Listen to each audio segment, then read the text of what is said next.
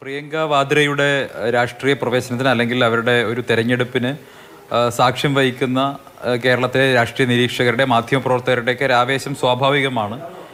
അവർ ഇന്ദിരാഗാന്ധിയുടെ രൂപസാദൃശ്യമുള്ള വ്യക്തി എന്ന എന്നൊക്കെ പറഞ്ഞുകൊണ്ട് വലിയ ആവേശത്തോടുകൂടി ഇതിനെ സമീപിക്കുന്നു എന്നുള്ളൊരു യാഥാർത്ഥ്യമാണ്.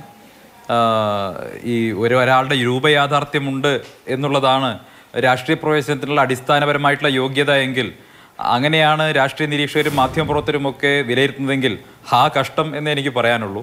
കാരണം ഒരാളുടെ രൂപസാദൃശ്യം ഉണ്ടാവുക എന്നുള്ളത് രാഷ്ട്രീയ പ്രവേശനത്തിന് എപ്രകാരമാണ് യോഗ്യതയായി മാറുന്നത് എന്ന് എനിക്ക് അറിയില്ല.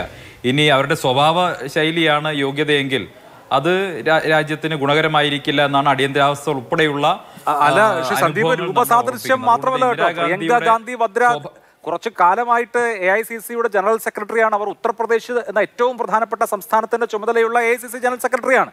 രൂപസാദൃശ്യം മാത്രമല്ല. അല്ല നിങ്ങൾ ആഹ്ലാദത്തോടെ പറഞ്ഞത് രൂപസാദൃശ്യമാണല്ലോ രാവിലെ മുടി മുടിയിൽ ഇന്ദിരാഗാന്ധിക്ക് സമാനമായിട്ട് മുടിയിൽ കുറച്ച് നരയൊക്കെ ഇട്ട് അതുപോലെ സാരി എടുത്ത് വന്നത് ഇന്ദിരാഗാന്ധിയെ പോലെയുണ്ട് എന്ന് പറയുന്ന പറയുന്ന രീതിയിലേക്കുള്ള പൈങ്കിളി നിലവാരത്തിലേക്ക് കേരളത്തിലെ മാധ്യമങ്ങൾ പോയതിനെക്കുറിച്ചാണ് ഞാൻ പറഞ്ഞത്.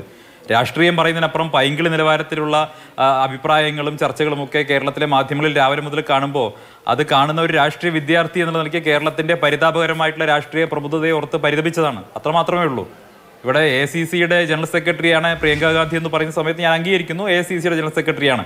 പക്ഷേ എ സി സിയുടെ ജനറൽ സെക്രട്ടറി പദവും അവർക്ക് കിട്ടിയിട്ടുള്ളത് അതൊരു ഹെറിഡറ്ററി ആയിട്ടാണ് അല്ലെങ്കിൽ ഒരു ഒരു പാരമ്പര്യത്തിന്റെ തുടർച്ച എന്ന രീതിയിലാണ്. ഇവിടെ ഇപ്പോൾ നിരീക്ഷകനും പറഞ്ഞു രാജ് രാഹുൽ ഗാന്ധി പോയപ്പോൾ നിങ്ങൾക്ക് ഏറ്റവും ഉചിതമായിട്ടുള്ള ഒരു ഒരു ആളെ തന്നെ ഞാൻ നൽകും എന്ന് പറഞ്ഞ് സഹോദരിയെ തന്നെ നൽകുന്നു. നോക്കി ഇത് സഹോദരിക്ക് കൈമാറിന് ഇത് രാജഭരണമൊന്നും അല്ലല്ലോ ജനാധിപത്യ ഭരണമല്ലേ?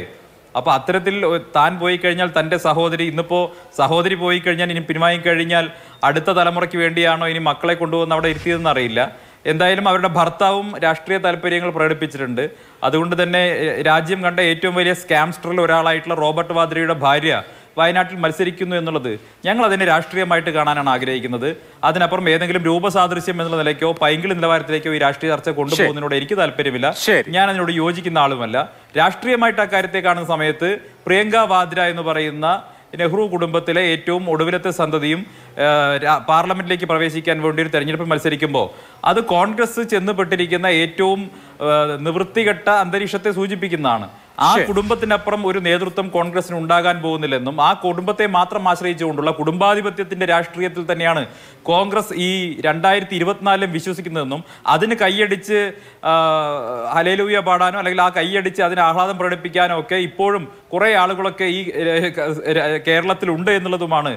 പ്രബുദ്ധ കേരളം രാഷ്ട്രീയമായിട്ട് പ്രബുദ്ധമായിട്ടുള്ള കേരളം എന്നൊക്കെ വിളിക്കുന്ന ഇവിടെയും ഇത്തരം കുടുംബാധിപത്യ പ്രവണതകളോട് കൈയടിക്കാനും അവരെ പിന്തുണയ്ക്കാനും ഒക്കെ ആളുകൾ ഉണ്ട് എന്ന് പറയുന്നത് ഏറ്റവും കഷ്ടം സാക്ഷര കേരളത്തെ സംബന്ധിച്ചുള്ള ഏറ്റവും പിയുടെ ഈ കാര്യത്തിലുള്ള വിമർശനം.